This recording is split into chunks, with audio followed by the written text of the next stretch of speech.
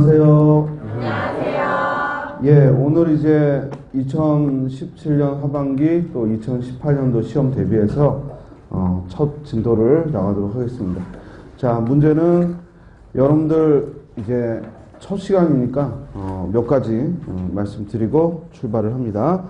자, 먼저 우리 1년을 커리큘럼으로 했을 때 어, 우리가 일반적으로 학습의 단계를 보면요.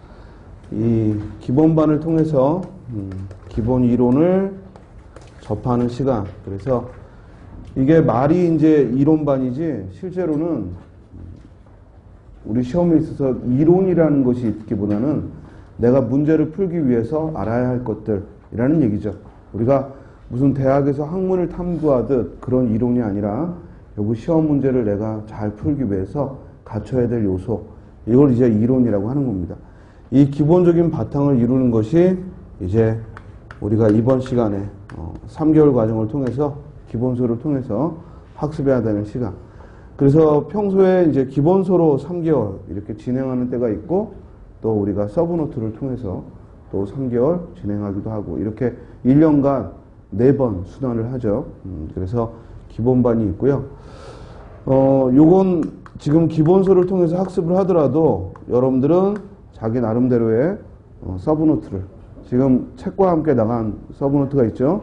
음, 거기에 메모하면서 자기만의 요약집을 만들어 가는데 주의할 건 이게 처음부터 3개월을 통해서 딱 완성되는 게 아니라 이 3개월 과정의 처음 단계에서 이제 학습을 정리하고 복습하면서 이제 만들고 그 다음에는 또 음, 문제를 풀면서 거기서 또 얻어진 요령이나 또는 이해해야 될 부분을 또 넣어서 또 만들고 그래서 시험 한 한 달 전까지 여러분들이 계속 나만의 노트를 만든다 이런 마음으로 공부하시면 돼요. 그러면 큰 부담 없이 학습할 수 있고요. 자, 요 이론적인 어떤 토대가 마련되면 문제를 풀어야죠. 근데 우리가 문제풀이반이라고 별도의 반이 있지만 어, 대체로 평소에는 심화반이라는 이름 하에서 우리가 심화학습이라고 해서 이론적으로 지금 종합반에서 얄팍하게 들어가고 심화반에서 깊이 들어가고 공무원 시험에 그런 거 없어요. 즉 이론적인 토대는 깊고 얕은 게 없고 다만 잊지 않고 반복하는 게 중요합니다.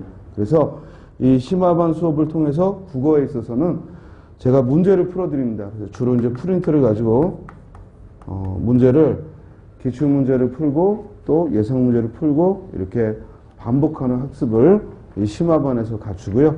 마지막 직전에는 이제 또 뭐가 필요하냐면 아는 것만큼 문제를 요령껏 푸느냐 이런 방법, 그러니까 실전 문제풀이 또 요령이 필요해요.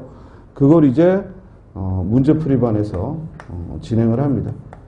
이게 이제 1년 커리큘럼을 기준으로 한다면 이 기본반은 3개월 순환 과정으로 어, 1년에 4회 반복을 하는 것이고 그리고 요 심화반은 거의 한 달 한 달. 음, 물론 얘도 일단 기본적인 토대는 3개월 과정이지만 얘는 순환이 아니라 그냥 직선적이에요. 그러니까 계속 시험 보기 전까지 자료들을 보강하면서 어, 수업을 진행합니다. 그래서 대체적으로 이제 기본반 한 번 돈 다음에는 어, 또 심화반 학습을 하고 아니면 또 국어에 일정한 토대가 마련됐거나 또는 지금 시험을 많이 앞두지 않은 이런 때에는 또 함께 진행하셔도 되고요. 이건 이제 여러분들이 선택하셔서 하면 되고 그리고 이제 문제풀이반은 시험 직전에 한 3개월 과정으로 얘도 순환이 아니라 단선적으로 끝나는 거죠. 그러니까 1단계, 2단계, 3단계 해서 마지막 시험 직전에 문제풀이를 합니다. 근데 가만히 이제 우리가 시간적인 그 비중으로 본다면 어, 3개월이라는 과정 이 문제만으로는 사실 실전 훈련을 하기에는 좀 부족해요. 그래서 미리미리 이제 심화반을 통해서 학습하라 이 얘기를 하는 거고 또 올해도 이제 합격한 친구들을 보면 대체로 시험 직전까지 그냥 꾸준히